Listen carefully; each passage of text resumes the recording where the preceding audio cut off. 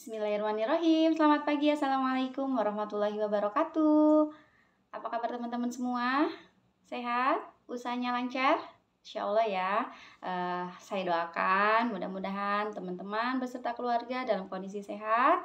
Kemudian juga usahanya lancar, ya usaha facialnya, usaha rumah cantiknya, usaha salon kecantikannya, ataupun yang sudah uh, punya klinik, klinik kecantikan gitu ya. Mudah-mudahan usahanya rame, kemudian uh, berkah ya pengunjungnya atau pasien-pasiennya juga puas dengan pelayanan yang sudah diberikan. Dan buat teman-teman pemula, mudah-mudahan juga saya doakan agar dipermudah usahanya untuk segera memulai usaha di bidang kecantikan. Nah, teman-teman, eh, Rumah Kiransa punya kabar baik buat teman-teman semua baik teman-teman yang pemula maupun yang sudah berjalan usahanya.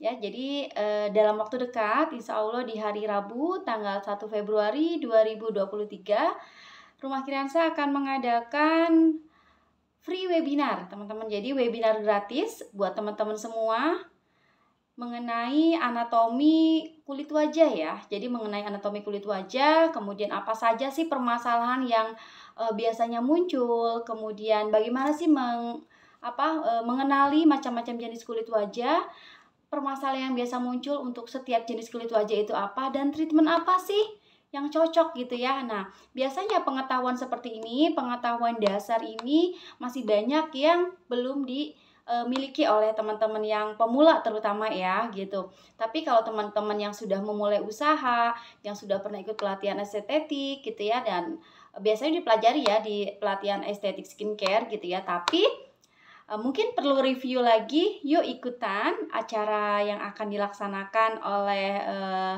Kiransa bersama Elisa Beauty Course ya. Nanti ada narasumber, ada dokter yang akan menyampaikan materi mengenai anatomi kulit ya, kulit wajah dan juga uh, skin problem apa aja gitu ya yang biasa uh, terjadi dan tentu saja dengan treatmentnya apa sih yang tepat gitu ya seperti itu. Yuk ikutan acaranya gratis. Uh, untuk link pendaftaran saya akan tulis di deskripsi ya di description box. Nanti saya akan tulis. Silakan teman-teman klik linknya. Mudah-mudahan bermanfaat. Terima kasih assalamualaikum warahmatullahi wabarakatuh